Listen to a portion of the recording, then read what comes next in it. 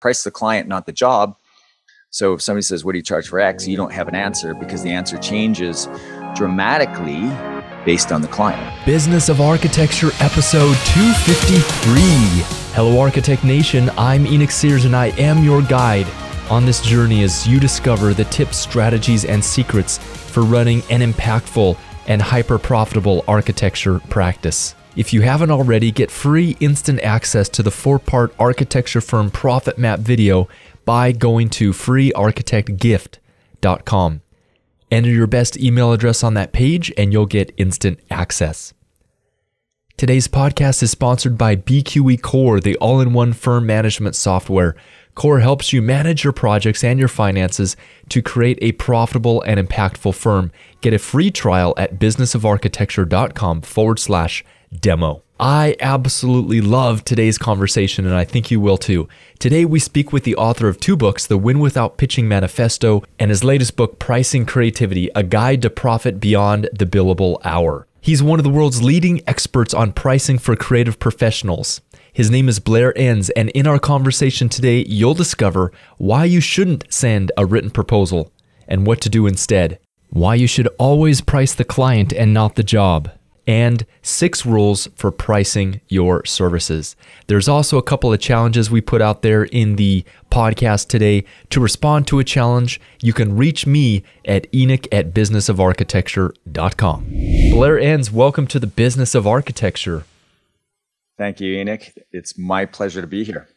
So, you're an expert on pricing for creative professionals and a whole lot of other kind of business things that we may touch on in today's interview.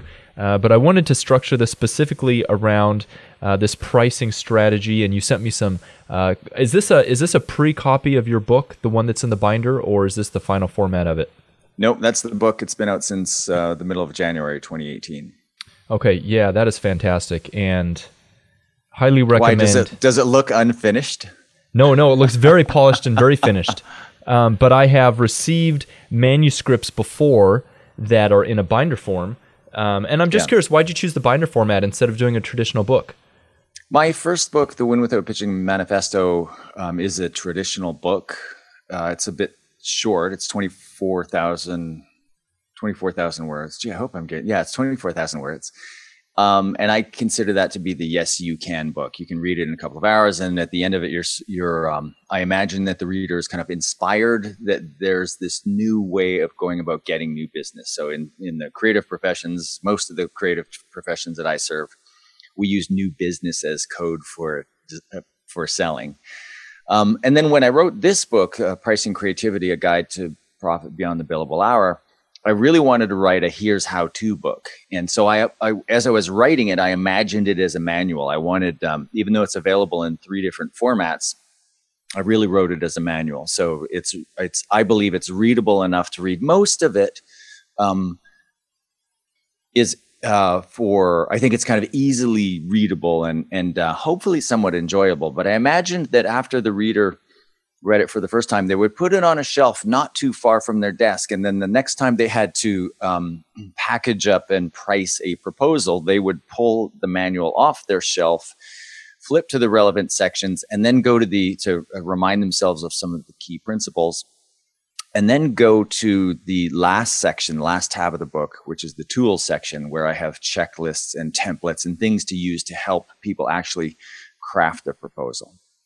Yeah, and I've been a study of business for a while. This is a in-depth and very well put together tome.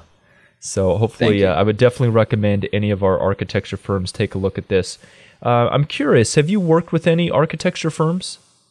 A small number. Usually, the architectural firms that we work with are kind of just periphery to. So sometimes they're just interiors. Um, we, there's in the it's not so much graphic design anymore, but in the greater design world, there's, you know, on one end of the spectrum, you might have kind of pure architecture and like design build, and then you go out towards like interiors architecture, interior designer, and then other things. So on that spectrum, more towards the um, designer. Uh, but yeah, we so we have some interiors firms in our training program right now. We've had landscape design companies, we've had interior design companies through our training program. But you know, we it's interesting. I'm really curious about this podcast and and how it goes over with your audience because we attract a lot of interest from architects, and a fair number of architects have bought the book already. Um, and we have conversations with them about helping them on the training front, but very few of them are, are, are most of them are reluctant to pull the trigger on some sort of training when it comes to selling or pricing their services. So maybe by the end of this podcast, you'll tell me why that is. Uh, I was going to ask you the same question, Blair. I was going to say, why do you think that is? I think, uh, I honestly think that uh, architects, and this is a generalization, so I'll take all the lumps that comes with making general generalizations. But I think generally speaking, architects find it difficult to admit that they there are parts of the maybe not the craft itself, but the business around the craft where they are lacking. What do you think of that hypothesis? I mean, we're we're we're getting pretty deep here pretty quick, but um, yeah.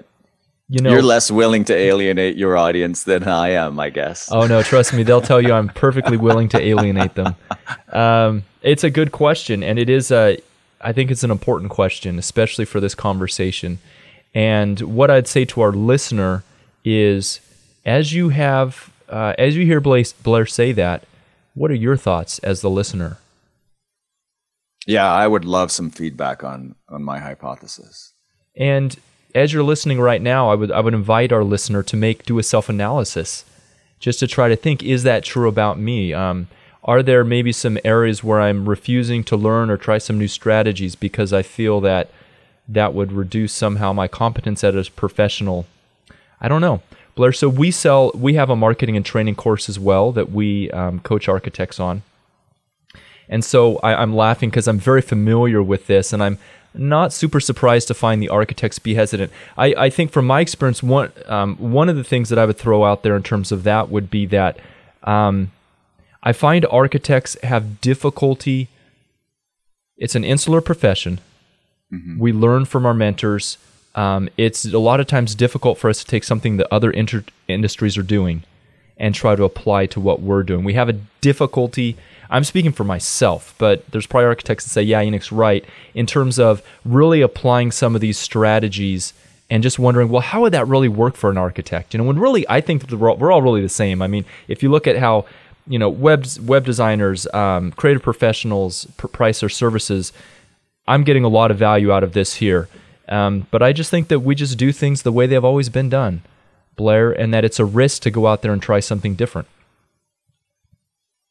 Yeah, I and I don't think architects are alone in that front. I think you're right. It, architecture is more insular than the other what I would call the creative professions because in those other creative professions, I think architects would would be dismiss, dismissive of the label of professions because there isn't the barrier to entry that there is in architecture. Therefore, anybody can be a graphic designer um, or, or, claim to be. Um, so I think there is, for those reasons, you know, for some fairly good reasons, architecture tends to look inward. But, you know, a lot of my clients are in the innovation business. A lot of uh, creative firms have gone from selling ideas and advice to actually working to help companies innovate their product services business model. So there's a natural evolution there and innovation always comes from the outside.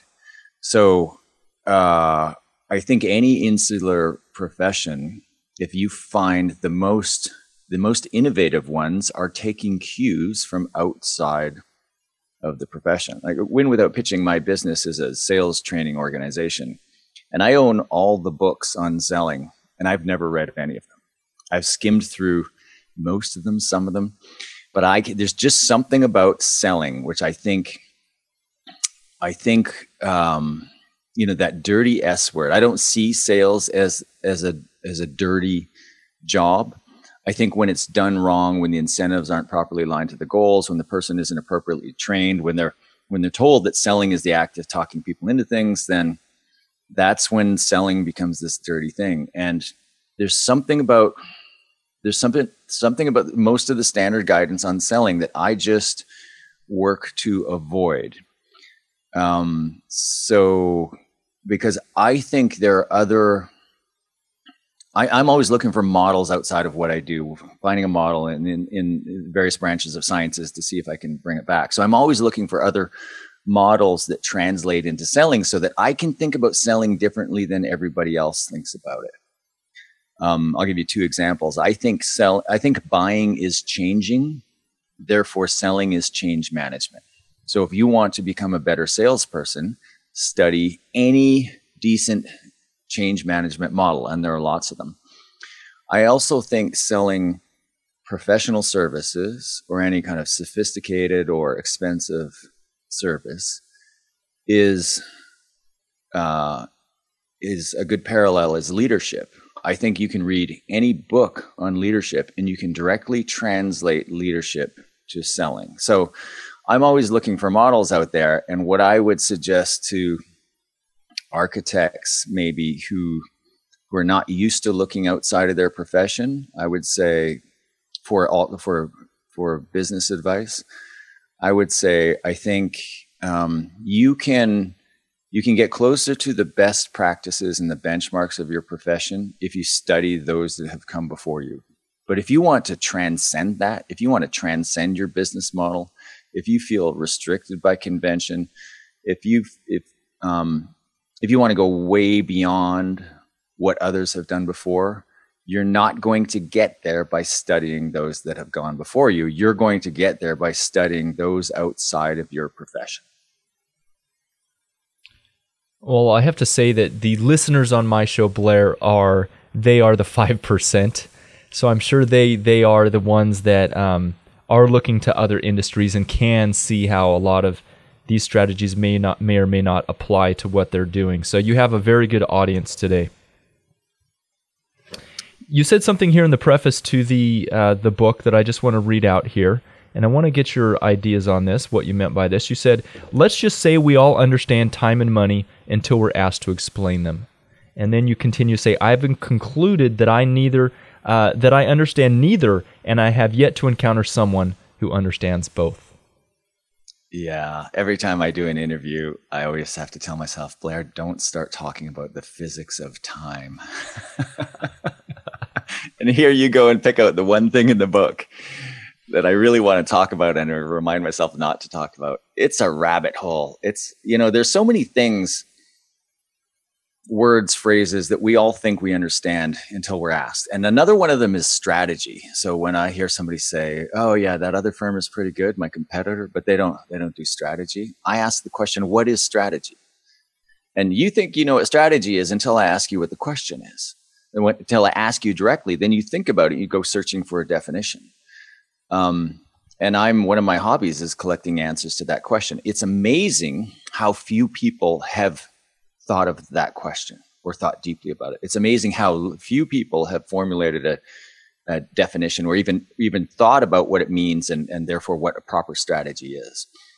Uh, time and money are also two of those things. And I kind of went a little crazy trying to unpack that phrase time is money i knew i knew that um, you know a big part of the book it's on value based pricing so it's about moving away from selling time to selling outcomes not not the inputs of time and materials not the outputs of the deliverable but the value the outcome the value that you will create for the client so i knew that you know time wasn't money necessarily but maybe it is at sometimes but i when i start so i own four books on the physics of time um, and it's become kind of a personal uh, journey of mine.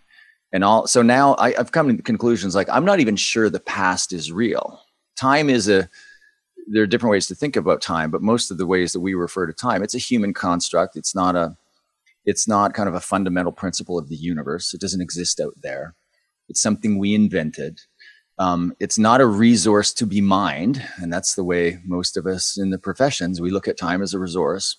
You, I think, you go from seeing time as a resource in your evolution of your understanding of time and how to how to um, leverage time in your business. You go first from seeing it as a resource to be mined and sold, then you start to see it as a constraint, and then you get untangled from it completely. And you get to this place where it's not like you ignore it completely, but you see everybody else tethered to time and encumbered by that tether while you kind of float, float free above them. So does that answer your question? I of what what time is? I don't know what time is. I was even this morning. I just came back from a business trip, and I was in the airport this morning once again thinking about a proper definition of money. And I thought maybe money is a storage of knowledge is knowledge stored as freedom knowledge translated into a store of freedom but even that has got all kinds of things wrong with it there you went and did it now we're talking about these weird topics well that's great i'm sure my listeners right now are thinking this is a great episode this is a little this is uh this is this is authentic take a hit from the bong and let's keep talking about this crazy stuff. That's right. Well, and I'm just curious um, in terms of time. You know, how would you describe to me what it means to be liberated from time, to be floating as everyone else is chained to it? What does that mean for you? So, there's a story in the book of a friend of mine who um, he he's an cons- independent consultant, solo consultant, and he had a client, and his client introduced him to a friend who had a business challenge, and he said, "My friend will help you out." So, um, this guy emailed my friend his challenge, and my friend crafted a very novel solution in the reply, and he was about to send it back to him. And the last line of the email, he told me this in a story not too long after it happened. The last line of the email was, "Good luck with this. Let me know how it works out."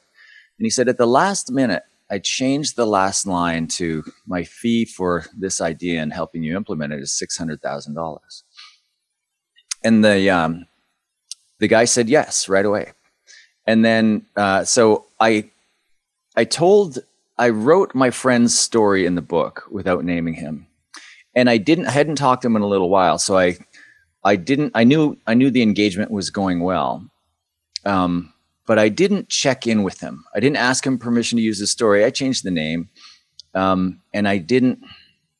I didn't. I didn't call him to validate, you know, kind of the state of how how things had played out in the end. I thought, you know, the story's good enough. And then um, a, a, month or so after the book is out, I'm getting on a plane in Australia on a speaking tour, and I get an email from him saying, "Hey, I just read the book, and I, I forgot about telling you that story, and I just reminded of how much my life has changed in that moment." And he told me in a very lengthy email that I sat reading there on the tarmac, he told me all of these stories of the engagement. So that engagement ended up being into the seven figures, his compensation. And he, he said, I'm, I'm no longer a consultant that sells capacity. I'm an entrepreneur. And when somebody comes to me as a consultant with a business challenge, I look at how I can create the most value. So he listed a bunch of engagements where his compensation is six, seven, and eight figures. He is not selling hours. He's not selling days. What he's selling is has nothing to do with time. Now, granted, he's got to do some rough math on the restrictions of time, of how much time he can spend on things, but he's not being valued based on how much time. He's being valued based on the outcomes he's helping to deliver for his clients that's what I mean by being disentangled or un, from or unrestricted by time. Awesome. And of course, your subtitle of this book is A Guide to Profit Beyond the Billable Hour. So let's jump into that. Uh, obviously, architects, like a lot of other uh, you know, professional service providers, it's all about the billable hour. Yeah. Blair, so let's let's dive into this. Um, I want to start here with uh, something I found here in the very first chapter, where you said that what you found is that the profit of the firm and the lifetime compensation of the principal have very little to do with what some might see as the quality of the creative or the quality of the product, and even less to do with the time logged by the owner. Tell me about that. Yeah, it's funny, you know, people in the creative professions, I think especially your principals of creative firms in the first few years of their business, and maybe it, maybe it carries on for a while, they'll they make a rough correlation between um, income and quality of the creative product. And I think architects would agree or would, would disagree with the statement. It's another general statement. They'll they'll be wrong, but they'll disagree with it. And that's that. Um, and it's just another way of saying what you just read. And that's that. For the most part, there are times when you care a whole hell of a lot more about the little details of what of of the design that the client doesn't care about. I see it routinely across all the creative professions. So I'm assuming it happens in architecture, and I'll be shocked. I have friends who are architects. So I'll be shocked if it's this isn't true. This this over delivery, this over designing of the project because you are holding yourself to a standard, even though the client hasn't paid you for that standard. One of the principles in the books, one of one of the six, uh, in the book, one of the six rules, is the idea that you should always offer options in your proposals. Um, and so those options, uh, there are different ways to kind of put those options together. But if somebody says they have a budget of you know, one hundred thousand dollars, then you owe it to them to put forward the one hundred thousand dollar option. But if you think it would d- take two hundred thousand to do this properly, you're you're free to put forward a two hundred thousand dollar option as well, and maybe even a three hundred thousand or four hundred, whatever you want. The mistake is to try to deliver the to think, okay, when when I design a project, it, it, has all of these things or meets all of these standards. When not every client values all of those things. So all creative professionals need to learn to deliver an option, a cheaper priced option that strips out some of the things that they would really want to do, but things that that client probably doesn't value. Does that make sense? Yeah, it does to me. I mean, I know that uh, I've taught a couple presentations on pricing, and there is sometimes there is pushback from you know architects mm, feeling like you know we're we're held to a professional standard of X, right? And um, but I think that a, I mean my personal opinion, Blair, is that a lot of time I think that that personal that that standard to which we're held, we as you say we over deliver on that, and a lot of times our clients they're not even the wiser for all the extra time and effort and detailing that we put into the project. Yeah. So there's let's talk about your rules. You mentioned that, and I'm just going to run through them right here. Price the client, not the job. Offer options. Anchor high. Say a price before you show a price. Master the value conversation, and un- and limit unpaid proposals to one page. Can we start in reverse order and tell me about limiting the unpaid proposals to one page? Yeah, it's a bit tricky to work backwards um, because the rules kind of build on each other, but it's. Uh, I for years I as a sales consultant and a sales trainer I operated under the motto of the proposal is the words that come out of your mouth. The document is the contract. And the first time I heard that I thought it was heresy. I thought this what do you mean? The pr- proposals where I came from growing up in ad agencies growing up professionally in ad agencies and some design firms the proposal was a 50 to 100 page document that kind of sketched out the out background of the situation as we understood it. Um, our uh, so our, our diagnosis of the situation, if I use medical terms, our prescription of a strategy, um, all kinds of background about us and sa- sales information about the about the firm and about the individuals who would be involved in the project um, some free creative ideas. And then in the very last page, we would put the price and a place to sign. And somebody came along once and said, you know, these are absolutely ridiculous. You're conflating the idea of a proposal with a contract, and neither the proposal nor the contract should have should have sales information, information where you are trying to persuade.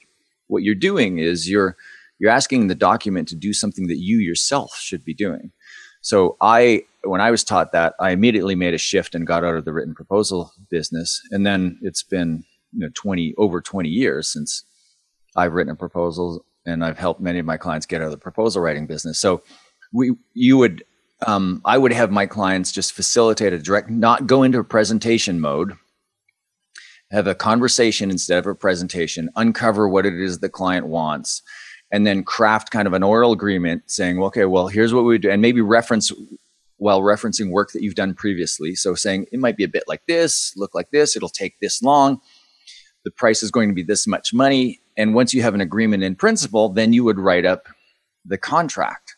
So the proposal is the words that come out of your mouth. You get the verbal okay. And again, you might be leaning, leaning on some tools like some case studies as references. And then once you get the okay, you craft the proposal. So I held firm with that approach until I went, until I um, discovered the world of value based pricing. And the way value based pricing should work is one of the rules is to always offer options. We'll talk about why that's important. And so when you're putting forward options, you do need some sort of reference material. You do need a piece of paper to reference those, to, to be, to communicate to the client what's available in the different options. Now, what you don't need is you don't need reams of paper. You can get it all down onto one page. So that's the idea is the proposal is here's my proposal. It's an oral proposal. And you slide forward a piece of paper with your various options on that one page to facilitate, and then you facilitate the discussion around that piece of paper. And then once the client chooses an option, you have an agreement in principle, then you write up the contract. And if, if any of your listeners have already been through this transition, they're smiling to themselves. But I'll bet most of your listeners are thinking, oh, yeah, nice theory. Nice theory, Blair, but this is never going to work in our world. And then you will hear, mark my words, Enoch, you will hear from one of your listeners who tries this and who comes back to you and says, Oh my God, I cannot believe all of the hours and maybe even days and weeks of my life I have wasted putting together lengthy, unnecessary written proposals. I guarantee you that is going to happen. I wish I could say every every listener will experience this. Most of them won't. Most of them are just so opposed to the idea that this is even possible. They think nice theory, but it's not applicable in my business. It, they're wrong. It's applicable in their business. Um, let's see. I would just challenge everybody to muster the courage to try it once. Let's do it. I want to hear the first person that tries this. And hey, if it's successful, let me know. If it's also successful, let us know. We want to. Be, who's going to be the first person to get back to us? All right, Blair, let's so let's take it from the top then. We'll jump back up to your rules here. Take us through the rules and just give us a short background on what they mean to us. Yeah, rule number 1 is price the client, not the job. So what that means is if if a client or a prospective client comes to you and says, "What do you charge for X?" you don't have an answer. Because if you have an answer, even if you have a narrow range, well, we typically charge between X and Y that means you are selling based on the inputs of time material, you're pricing based on the inputs of time and materials, or you're pricing based on this like market value in air quotes of the deliverables, of the outputs. So there are three things you can sell inputs, outputs, and outcomes, or otherwise stated as value. And what the goal of this book is to get to people to start to price based on the value that they communicate to the client. So if you're pricing based on value, then before you can set a price, you have to have a conversation with the client about and un- unearth what the value of this engagement would be to the client. And there's a methodology for that. And that's rule number five. We can talk about that. But that's number one price the client, not the job. So if somebody says, What do you charge for X? You don't have an answer because the answer changes dramatically based on the client. Um, rule number two is to always offer options. We talked a little bit about that, but uh, the importance of options. Most people put forward a proposal with one option. It's essentially a take it or leave it proposal. And then you can watch the client try to figure out, well, is this the proposal is for, you know, let's say it's a certain percentage of the build or, or, and let's just translate that to a number. And let's say that number is $100,000 um, then they have to do the math. Like is, they, they actually have to, the brain has to work away and, and ask, answer the question, is, is this proposal worth this much money? But the human brain is not actually wired to answer that question. And I prove this in the book with a couple of visual images, is not wired to answer that question. Is this proposal worth $100,000? All they can do is say, is this, sorry, they can do, they can answer the question, which of these is the best value? So that's the question that you want to enable the client to answer which of these is the best value. Human beings cannot subjectively perceive absolute value. So if your client looks at the proposal, they have to go get something to compare it against. So they go get bids from other architects, or there are other things that could compare against. So the goal here is to control the comparisons by putting options in front of the client. And there's all kinds of stuff in the book about how you might break those options down and different ways to slice and dice them. Um, rule number three is to anchor high, and what that means is you when you deliver your proposal, you begin with the highest priced option first, and the the goal of that the price on the most expensive option is not to sell that option. It's the goal of that option is to make the other options look less expensive. And there's Nobel prize winning science behind this. Um, so you anchor high you begin with this high number and we won't get into how it works but you begin with this high number and then you move to either the least expensive option or the one in the middle or you might have four options. I like to talk about three. Three is better than two. Four is good as well. You could do five. I think that's getting a little, little, little bit elaborate. So you begin with the high anchor, and you can read about the science of anchoring. Daniel Kahneman's book, Thinking Fast, Thinking Slow, talks about it um, quite extensively. He's the, he, he and his research partner Amos Tversky are the ones who pioneered the science in that area. Rule number um, one, two, three, four is say a price before you show a price. So that comes not from the world of pricing or behavioral economics, but from the world of sales. And that's if there's a price objection, you want to hear it beforehand. So before you retreat to put together your options, you you have what's known as the value conversation, which we'll talk about next with the client. You uncover the value you might create. Then you set a price range, and then you retreat to think about okay, what options could you put forward in that price range. So putting that price range forward begin, before you begin to do your proposal is important because it takes away any shock. And if there's a price objection, you get to hear it. Rule number five is to master the value conversation. So we talked about rule number six, limit unpaid proposals to one page. Rule number five is the only one.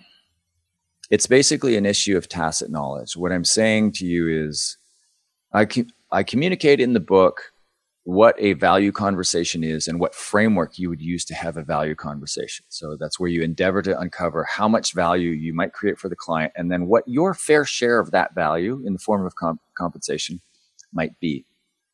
It's called master the value conversation because I tell you how to do it, but that's not good enough. Um, and this ability to master the value conversation is what sets apart those high, super high income earners. Um, my friend that I talked about earlier, he's learned to master the value conversation. So I see three levels of financial success. I see the efficient firms that bill is is many their their billable efficiency is very high. Their utilization rate is high. They bill as many hours as possible, or as close to as many as possible. The second level of success is those who let go of time and, or at least start to dabble with value based pricing. They'll start to increase their prices in certain situations because they'll price the client, not the job, and they'll realize this is worth more to this client. So they'll increase their price based on that, and their, their profit will go up substantially just based on that. But the third level is those who master the value conversation. They move from thinking of themselves as, as in my friend's case, a consultant, in your client listener's case, an architect. They, they actually transcend the bounds of their own business model and they start to see themselves as entrepreneurs and yes, they still do architecture, but architecture is just the main tool that they use to help create value for their clients. And they start finding other ways to help create value. And they start charging fees and commanding compensation that just puts like hourly, there's just no way you could compute these into hourly into hourly rates. That is the highest level. That's when you actually move from a professional to an entrepreneur. So it's also the hardest to do, and it's hardest to do because um, it's a sales skill. It's a human. It's a facilitation of human interaction and human change, and it, you need to fail forward. And most people give up after the first awkward value conversation. So those are the six rules of pricing creativity. Awesome. When you define entrepreneur for me in your definition, Blair. Yeah. So an entrepreneur. So I'll give you my definition of marketer. I've heard lots of definitions for it, and then I'll explain what I see as an entrepreneur. A marketer is somebody who looks at the market, identifies something that is missing or poorly met, and then they match a product or a service to that need, to that unmet need at a profit. An entrepreneur is essentially a marketer with skin in the game, is somebody who takes risk puts their financial situation on the line to match a product or service to a need at a profit. So there's this, I think there's two, there's two hallmarks of an entrepreneur. One is they're driven by freedom, the freedom away from things and the, the freedom from things and freedom to things, as Dan Sullivan, founder of Strategic Coach would say, that's his thing. And the second thing is uh, hype, um, is a, uh, is they're risk takers. There are, there are no, or there are very few entrepreneurs who are who uh, abhor risk. And as Peter Drucker, the management consultant, essentially the father of management consulting, said, in prof- in business, all profit comes from risk. Entrepreneurs take a lot of risk. And in, when you start value-based pricing, when your fees start going up, generally speaking, this will this generally holds true. The higher your price relative to what your competitors might charge, or you know, essentially your higher, higher your margins, the higher your price. Um, the more risk or uncertainty you are taking away from the client. Your low priced options are, are those options that see the client taking most of the risk. If you sell time and materials, you're pushing all of the risk to the client. If you're delivering price certainty, if you're selling deliverables at a set price, then you're taking some of that risk and the client is paying a premium or should be paying a premium for price certainty. And then when you're selling value at the very extreme end of the equation, you could actually take all of the risk. You could say to the client, you, you don't pay us until or unless certain metrics are met. So some litigators, some lawyers get paid on this basis, contingency payment. Now, I, I don't think it makes sense to structure your entire business around that. And I'm not sure what the equivalent would be in the architecture world. I'm just pointing out that there are so many different ways to price and how you price, how you choose to price is a function of your own personal risk profile. It's also a function of the assessment that you are making of your client's propensity for risk. And uh, once you explore this topic a little more, as I do in the book, I think most people come to the realization that they price based on their, their they assume their risk level their client's risk level is theirs, and they're almost always wrong. Can you can you illustrate that with an example, Blair? What you mean by that?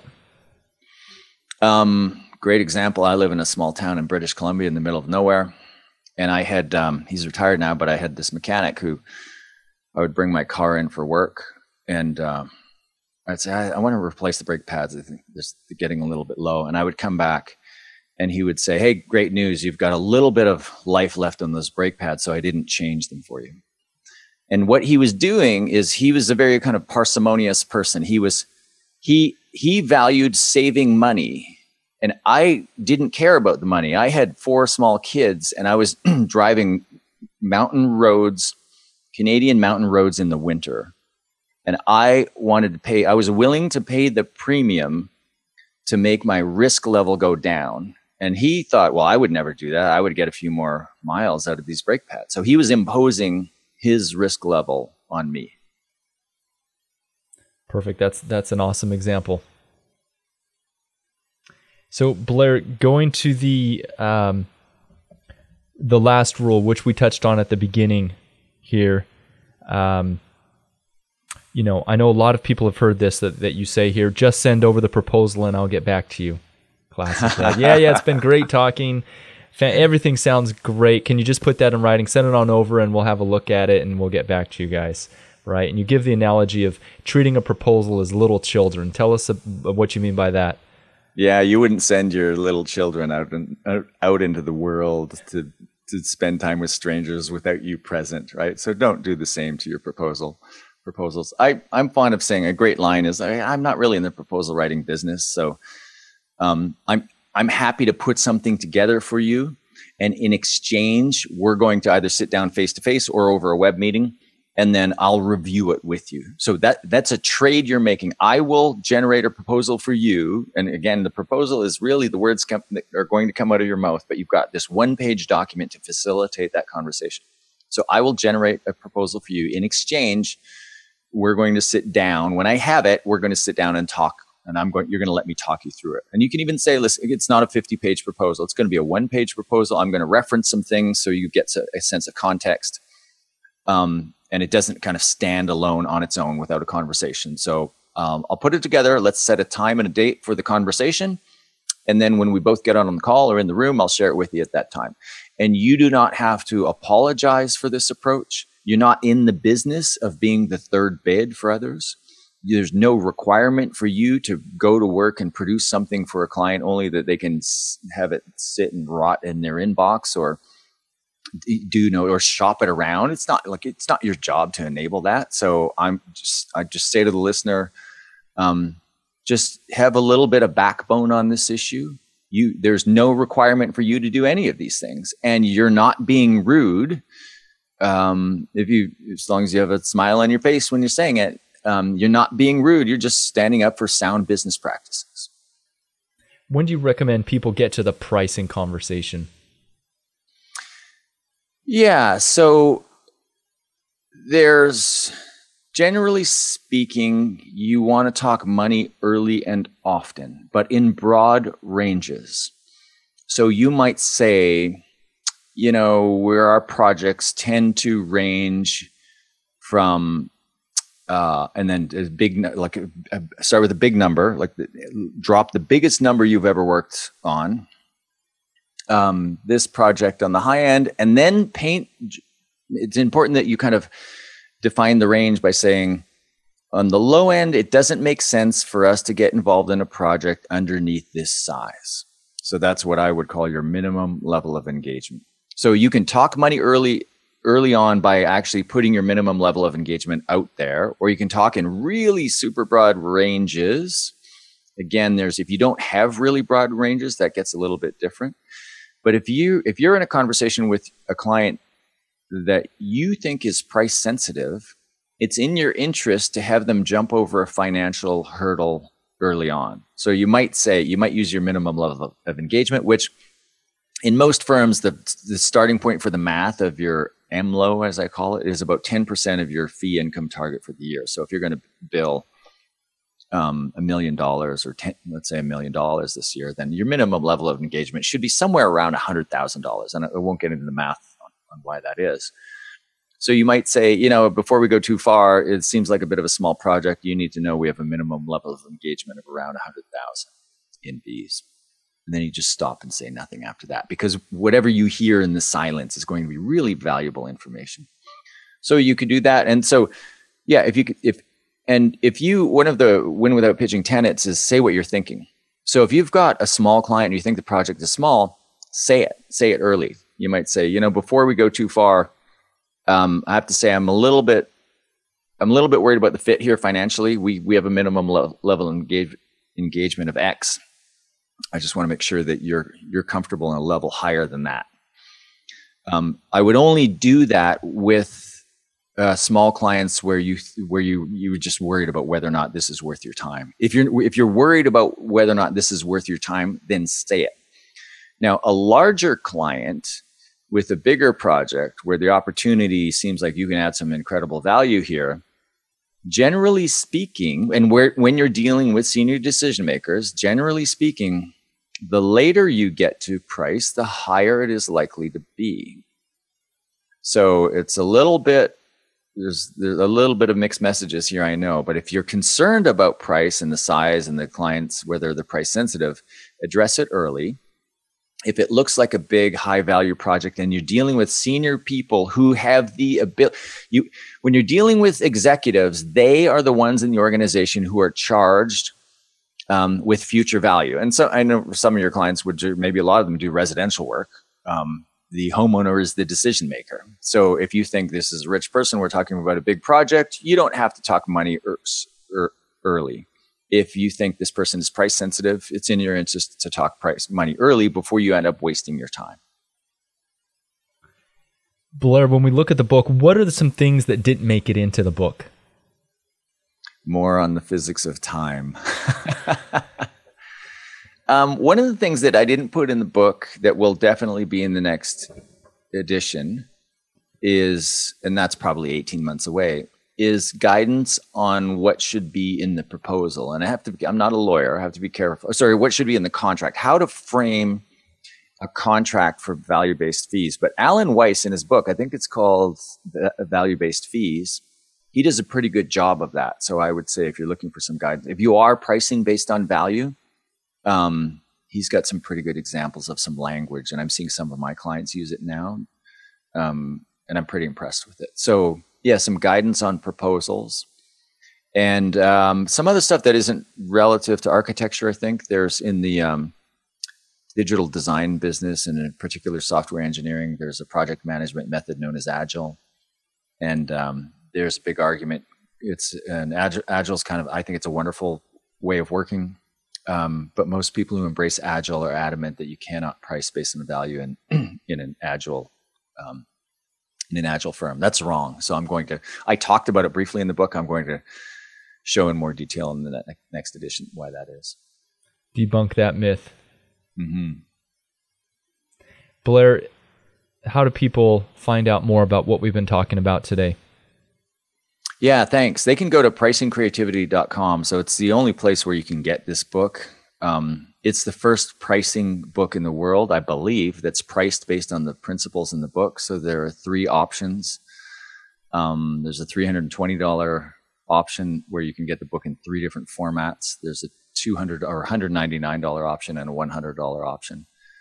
And it's uh, all versions of the book are fully guaranteed. So if anybody buys it and doesn't make more money or doesn't, for whatever reason, wants to return it, we refund your money, no questions asked we sold over a thousand copies. Nobody's returned it yet. Um, and uh, I think if people do buy the book, what I would like them to do is after they've read the book and they started applying the principles, I would love them to go back to that website, pricingcreativity.com, and look at the pricing principles that we are employing on that page um, and see how many they can identify. There you go. There's a challenge just rife with challenges in this interview. Yeah, yeah, send it in. let's let's put a test out there to our listeners. Who can be the first one to uh, write in with all of the pricing strategies? And what we'll do is, uh, if you send that in, and I can forward that to Blair. Maybe Blair will give me the answer, or he can look at it. But I will personally sponsor you uh, the hundred dollar level of that book. We'll send you one. Sounds good. Fantastic. from me. Yeah. Okay. Blair, thanks for being on the business of architecture with us today. Thanks, Enoch. It was my pleasure. And that's a wrap. To discover more about the process for creating a better firm with less fires and more fun, go to businessofarchitecture.com forward slash freedom webinar. On that page, you'll be able to register for my next upcoming online training on how to create a firm that empowers your staff and is set to scale without chaining you to your desk to discover how to market your firm to win the kind of projects and clients that you want to be working with and on. Sign up for my next free design firm marketing training at architectwebinar.com. Today's podcast is sponsored by BQE Core, the all in one firm management software. Core helps you manage your projects and your finances both in the office and on the go with a beautiful and easy to use mobile app. Get a free trial at businessofarchitecture.com forward slash demo. The views expressed on the show by my guests do not represent those of the host, and I make no representation, promise, guarantee, pledge, warranty, contract, bond, or commitment except to help you conquer the world.